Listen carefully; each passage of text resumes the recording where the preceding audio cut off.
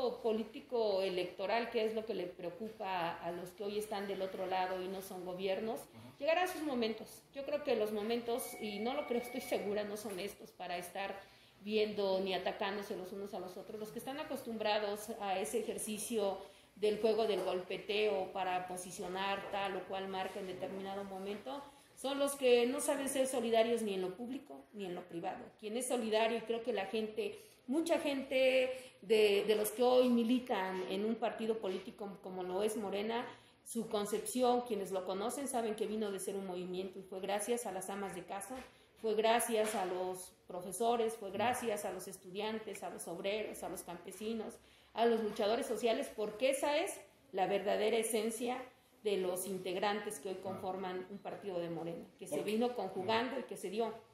Pero al final ese movimiento hizo posible el cambio eh, de gobierno